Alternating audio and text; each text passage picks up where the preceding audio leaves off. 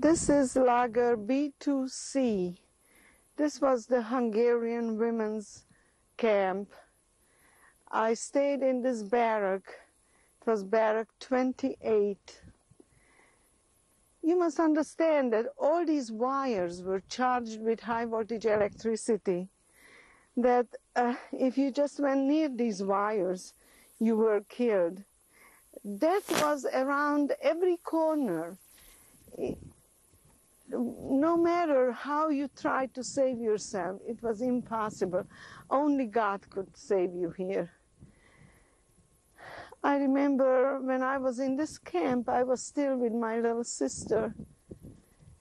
We were somewhere in the middle of the block in a bunk where there were 12 of us squeezed in. We could hardly fit in. In our sleeps, we always had nightmares, but when we woke up, the nightmare, the, the reality was worse than the nightmare.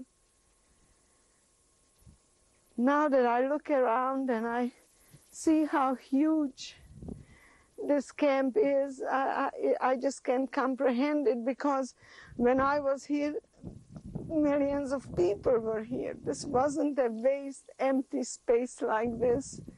There was no grass, uh, mud, or snow, or, or dry uh, ground, uh, dry frozen ground.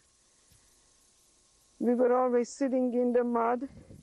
This wind that you feel here, well, to save ourselves from this wind, wearing this one piece of clothing that we had on, we had to sit around the edges of the barracks, you know, sitting on the edge of the barracks, protecting ourselves with the, with the walls of the barracks because we were always outdoors. We, we could come into the barracks only to sleep. There, there was a small cubicle like this, probably this was it, which was the capo's, capo's room she slept here. She had a, she had a cot in it, and uh, in the middle here, where the chimney is, there was a there was a brick uh, chimney like walking through the whole barrack, uh, which of course never had any heat in it. Then six months later, I was separated from my sister and I was taken into the next camp, which used to be the Czech lager, which was murdered overnight. The whole lager, there were parents with children living there, and the whole camp was eliminated one day. I see these pigeons here. Well, let me tell you, there were no pigeons here. Nothing lived here. There were, there were no birds, not even a rat could survive here. This is a place of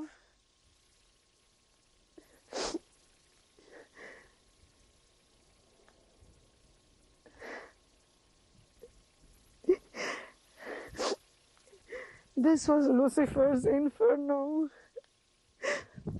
The, the chimneys of the of the crematoria were visible from here on all sides. They were bellowing fire and soot 24 hours a day, and we knew that it was our brothers and sisters that were being burned. The trains were coming in 24 hours a day, three, four trains a day, and the prisoners were walking through this gate to go to the bathhouse.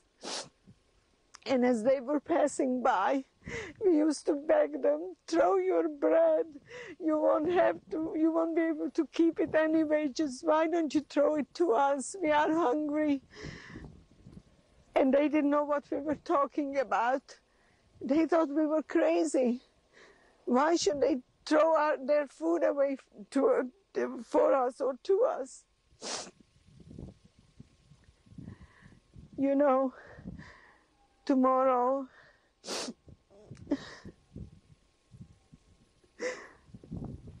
we will commemorate the day when this ceased to be the, the, the place of suffering and murder and, and unspeakable horror to thousands and thousands of, of my fellow Jews. I can't believe it. I just can't believe it. If these wires, if these bricks could talk, the stories they could tell, the suffering and the starvation and the beatings and the punishments.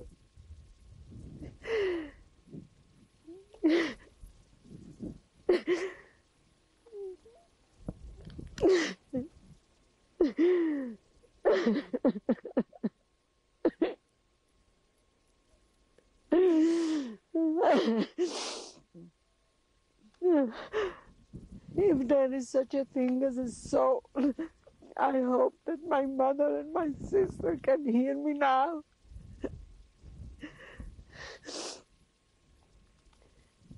It is their martyrdom that helped me till now to try to help the world, to try to tell the world what happened here. And I want them to hear me say that I will never forget them. And probably soon we will be together again.